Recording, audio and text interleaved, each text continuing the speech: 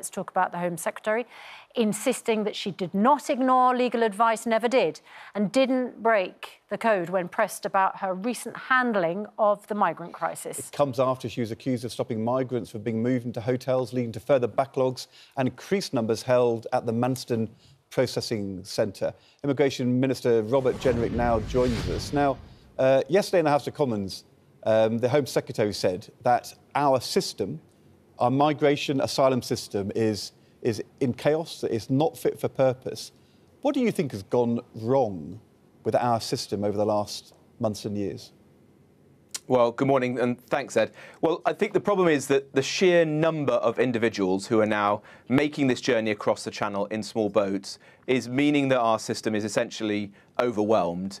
We don't have the capacity to look after people in the way we want to when they first arrive. We struggle to get them into appropriate accommodation in hotels uh, or into social housing, and we're struggling to process the claims in a fast enough time. And so the quantity of people making this journey, 40,000 people this year alone and rising, has put us under immense strain. But it's not There's just the quantity, is it? It's also right, the time it's taking. In 2015, the Select Committee says there were 4,900 people who were waited more than six months for a decision. That is now not 4,900, but 89,000 people um, of the people who came over on boats last year in 2021, 96% of them have not had a decision in their case the following year. So it's not just the numbers, it's also that the system seems to be entirely incapable of working properly. Well, that's not, that is not a right situation. We want to see those claims processed much faster than they are at the moment. And my predecessors put in place changes which will speed up that process significantly, and I intend to do the same and make sure that claims are processed, processed much, much faster, that those who have a legitimate right to be here in the UK are then able to get on with their lives, make a contribution to this country, and those who aren't are removed as quickly as possible. But it is fair to say that these are the symptoms of the problem, and I appreciate there's a lot that we need to do now to make sure that that's handled better.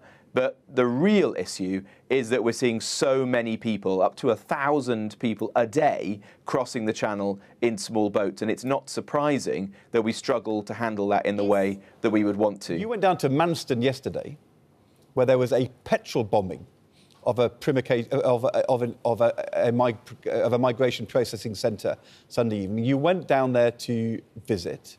Um, the following day, the Home Secretary talked about an invasion of the south coast, isn't there a risk? I mean, look, of course we've got to control our borders properly. Isn't there a risk that, that incites that kind of aggressive terrorist style behaviour? I mean, is that really what is that what you think? This is an invasion of our south coast?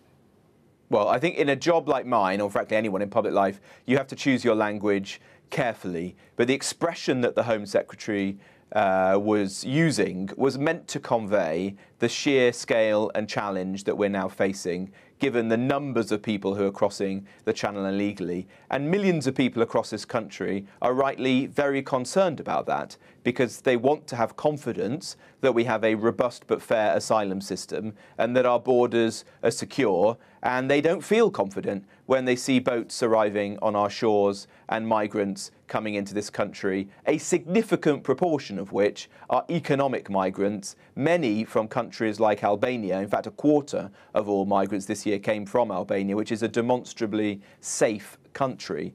And that is the kind of issue that the Home Secretary and I now need to tackle and see what more we can do to try to bear okay. down on that. When you say, um, when you're in positions like you are, you have to choose your language carefully, do you mean to say that she chose her language carefully and she meant to use the word invasion, or she didn't choose her language carefully enough?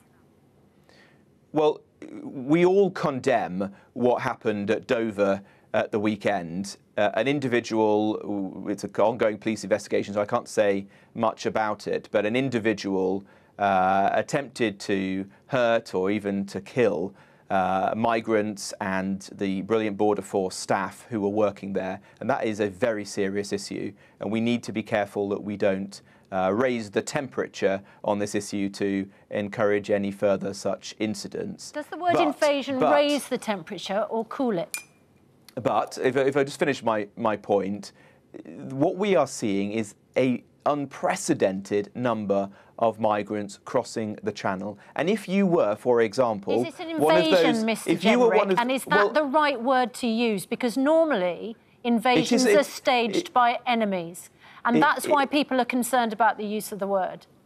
I completely understand the, the concern expressed by some people. What I'm saying is that many millions of people in this country would agree that this is a very serious situation and would agree with that kind of terminology. And if you were to speak to some of the residents of Dover who have seen boats uh, landing on their beaches, like Shakespeare Beach, for example, uh, this week, or have had migrants, young males from countries like Albania, for example, going door to door. There was a lady who found someone in there in her kitchen the other day. They would feel extremely concerned, and we would not be doing our job as Home Office ministers in charge of this important area if we didn't understand and appreciate the scale of public concern Talk- and talk- act upon that. talking about doing doing your job, uh, uh, talking about doing your job. I can't ever remember a Home Secretary when you have that kind of terrorist attack, not themselves being out there doing their job, going out and speaking to the public.